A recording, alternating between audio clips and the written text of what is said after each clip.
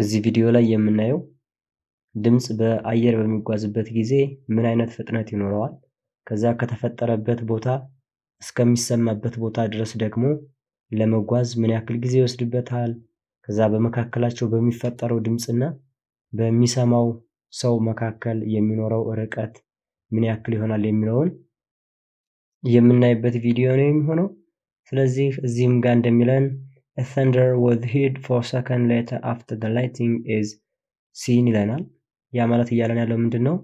የነጎድጓዱ ድምፅ ብልጭታው ከታየ ከአራት ሰከንድ በኋላ መሰማት ቢችል ይለናል። then if the speed of a sound is 340 meter per second at that temperature how far away is the lightning happened ነው የሚለን። ስለዚህ በጊዜ ወይም ደግሞ በዛ መጠነ ሙቀት ላይ የነበረው ድምፅ በአየር የመጓዝ ፍጥነቱ 340 ሜትር per ሰከንድ ቢሆን ኖሮ ስለዚህ ድምፁ በተፈጠረበት እና ድምፁን በሰማው ሰውዬ መካከል ምን ያክል ርቀት ነበረ ነው የሚለን። አሁን እዚህ ጋር ጥያቄውን በደንብ understand እንድናደርገው ለምሳሌ እዚህ ጋር አንድ ብልጭታ ሲፈጠር ብናይ ልክ ይኸው ብልጭታው ተፈጠረ። ከዛ በኋላ ድምፁ እየተጓዘ ነው አሁን። ከዛ ድምፁ ተጓዘ እና ከአራት ሰከንድ በኋላ ልክ እንደምትሰሙት ነው ልጁ ጋር መድረስ ቻለ ማለት ነው። ስለዚህ ልጁ ጋር መድረስ ከቻለ በዚህን ፍጥነት ከሆነ እየሄደ ያለው ያ ማለት ብልጭታው የተፈጠረው እዚህ ቦታ ላይ ነው የነበረው። ከዛ ድምፁን የሰማው ልጁ እዚህ ጋር ሆኖ ነበር። ከዛ በመካከላቸው የሚኖረው ርቀት ምን ያክል ነበረ ነው እየተባለ ያለው። ያ ማለት ድምፁ በእያንዳንዷ ሰከንድ ምን ያክል ይጓዝ ነበረ ነው የሚለን 340 ሜትር per ሰከንድ ይጓዝ ነበረ። ስለዚህ 340 ሜትርን በየሰከንዱ ይጓዝ ከነበረና ከአራት ሰከንድ በኋላ ቢሆን የተሰማው ድምፁ ስለዚህ በሰውየውና ድምፁ በተፈጠረበት ቦታ መካከል ያለው ርቀት ምን ያክል ይሆናል ነው የሚለን። ስለዚህ ይሄንን አሁን እንዴት አድርገን መስራት እንችላለን የሚለውን እናያለን ማለት ነው። ስለዚህ ይህንን ጥያቄ ለመስራት አሁን እዚህም ጋር እንደምናየው ልክ ብልጭታውና ነጎድጓዱ አንድ ላይ እዚህ አካባቢ ተፈጥሮ ነበረ። ከዛ ከተፈጠረ በኋላ ልክ ብልጭታውን ከታየ ከአራት ሰከንድ በኋላ ድምፁ ሄዶና የልጁ ጆሮ ጋር መድረስ ቻለ ማለት ነው። ስለዚህ ይህንን ስናደርግ አሁን የመጀመሪያ ስራችን የሚሆነው given ብለን ማውጣት ነው የሚሆነው። ስለዚህ given ወይም የተሰጡ ነገሮችን እናወጣለን። ስለዚህ given ወይም የተሰጠ ምንድን ነው የሚለውን እንይ። አሁን የተሰጡ ነገሮች ምንድን ናቸው? አንደኛው ምን ተሰጥቶናል፣ ምን ያክል time እንደተጓዘ ወይም ደግሞ እዚህ ጋር የነበረው ድምፅ ልጁ ጆሮ ጋር ለመድረስ ምን ያክል ጊዜ እንደወሰደበት ተሰጥቶናል። ስለዚህ time ኡ ተሰጥቶናል ማለት ነው። ስለዚህ time ኡ አራት ሰከንድ ተሰጥቶናል። ከዚህ በተጨማሪ ደግሞ ድምፁ የተጓዘበት ፍጥነት ተሰጥቶናል። ስለዚህ ድምፁ የተጓዘበት ፍጥነት እንትን የተሰጠን እዚህ ጋር ስለዚህ speed of sound is equals to 340 meter per second ተብሎ ተሰጥቶናል።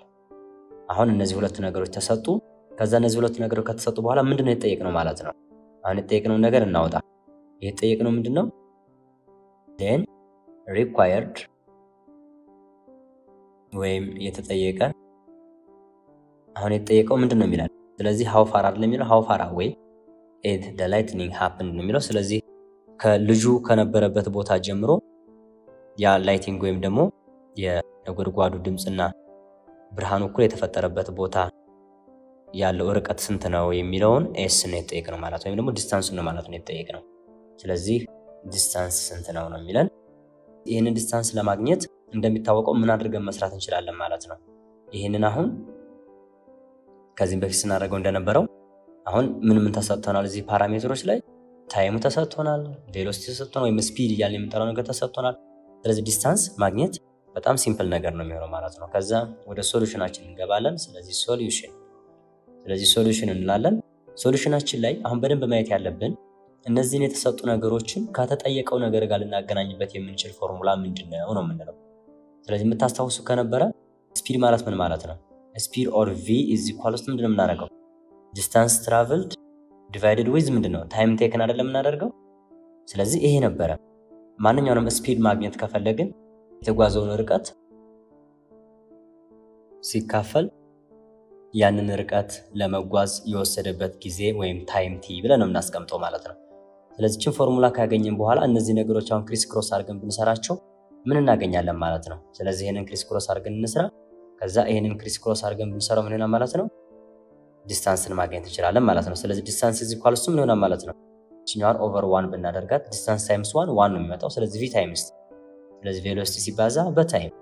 ስለዚህ ምንጊዜም ቢሆን distance ማግኘት ከፈለግን የወሰደበትን time በምን እናባዛለን ማለት ነው? በፍጥነቱ በ speed ኡ እናባዛለን ማለት ነው። ሁለቱ ስታባዟቸው ምን ያክል distance cover እንዳደረገ ይነግረናል ማለት ነው። ስለዚህ ዋና ፎርሙላችን የምትሆነው ይቺ ነች። ከዛ ይህንን ካደረግን በኋላ አሁን የሚቀረን ምን ማድረግ ብቻ ነው? ቁጥሮቹን substitute ማድረግ ብቻ ነው የሚቀረን ማለት ነው። distance is equals to V ስንት ነው?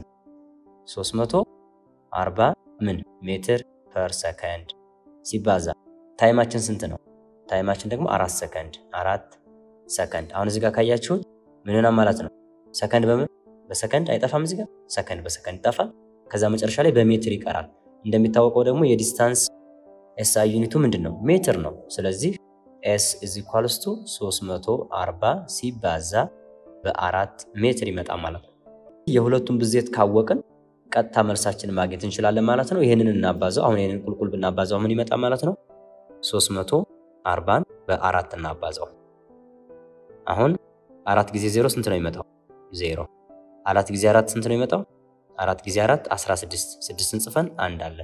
ከዛ አራት ጊዜ ሶስት ስንት ነው? 12 ከአንድ ጋር 13 ስለዚህ ስንት መጣልን ማለት ነው? 1360 መጣልን ማለት ነው። ስለዚህ መጨረሻ ላይ distance ኣችን ስንት ነው ማለት ነው? distance is equals to 1360 ሜትር ይመጣል ማለት ነው። አሁን ይህንን በደንብ ከተረዳችሁት ይሄ ብልጭታው ከተፈጠረበት ቦታ ጀምሮ እስከ ልጁ እስከቆመበት ቦታ ድረስ ያለው ርቀት 1360 ሜትር ላይ ነው።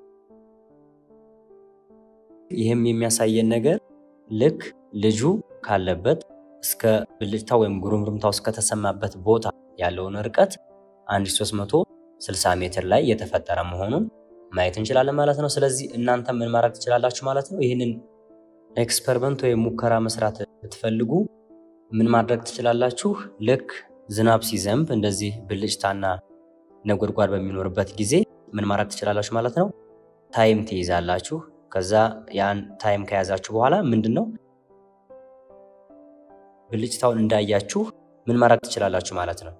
ልክ ብልጭታውን እንዳያችሁ time ኣችሁን ታስቆጥሩታላችሁ ወይም ደግሞ time ትይዛላችሁ ማለት ነው። ከዛ በኋላ ልክ ብልጭታው ከታየ ከተወሰነ ጊዜ በኋላ ድምፁን ትሰሙታላችሁ። ከዛ ልክ ድምፁን ስትሰሙ ምን ታደርጋላችሁ ማለት ነው። የቆጠረውን time ትወስዳላችሁ። አሁን ለምሳሌ በዚህ case ሁለት ሰከንድ ላይ ብትሰሙት ድምፁን ምን ማድረግ ትችላላችሁ ማለት ነው። ይሄ ነገር የተፈጠረበት ቦታ ከምን ያክል ርቀት ነው የሚለውን በዚህ መሰረት አሁን ባየነው ነገር መሰረት calculate ልታደርጉ ትችላላችሁ። ስለዚህ የ sound ኡን speed በአየር ምን ያክል መሆኑን እናውቃለን። ለምሳሌ አሁን የ340 ብላችሁ የምትወስዱት ከሆነ በዛ በተሰጣችሁ temperature ወይም አካባቢ ባለው temperature ማለት ነው። ስለ 340ን በሁለት ማባዛት ነው ማለት ነው የሚሆነው የናንተ ስራ። ስለዚህ ይህንን በሁለት ብታባዙ ስንት ነው ይመጣው? 680 ሜትር ይመጣ ማለት ነው። ስለዚህ ያ ድምፁ ከተፈጠረበት ቦታ ጀምሮ እናንተ እስካላችሁበት ቦታ ያለው ርቀቱ 680 ሜትር ላይ የተፈጠረ መሆኑን መረዳት ትችላላችሁ ማለት ነው። ስለዚህ ለዛሬው ስለ speeds of sound የተዘጋጀው ነገር ይህንን ይመስላል ማለት ነው። ሰላም ቆዩ።